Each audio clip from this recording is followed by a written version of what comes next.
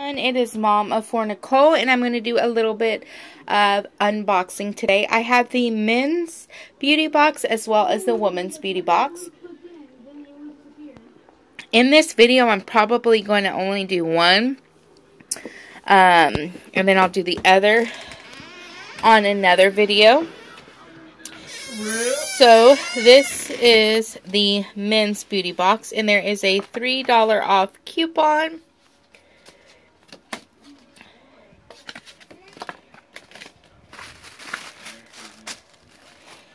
And this box this month was $5. So you can't beat that. The women's have gone up to $10. This is a sample size of the Axe Night. It has a little bit of a, like a, a lavender scent, but it's like a manly lavender scent. So uh, my husband already smelled it. He said it smelled nice.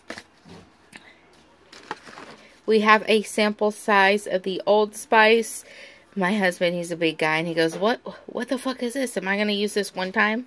it's like, no, honey, it's for travel. Um, this is really neat, and it smells amazing. It's body products for men. It's body powder. The only thing with this is it does have talc, and it does say from head to toe. So I just wouldn't put it like um, groin area or anything like that, but um, I told him you should use it for when we go to the parks. Um, it helps with sweating, but anyways. Mommy, I'm shooting a video. Wait. There's lightning up bugs. There's lightning up bugs. And then he's got a sample of Got2b Glued Styling Spiking Gel. And then he has a $2 off coupon for the new Schick Hydro and he's even he even got it. So to me, this $5 box is worth just this alone. Because I'm assuming this is more than $5. And then plus you got a $2 off coupon. So we have the Dove Men Shampoo Conditioner uh, sample size.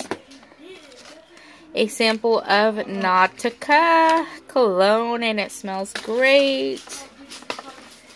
This is by Marlo, Marlo, and it is men's shaving gel. I opened it. It smells great, but it's like a consistency of like um, shower gel or something. So it's really weird. It's not like, it doesn't look like shave gel, but I guess that's how men's gel is.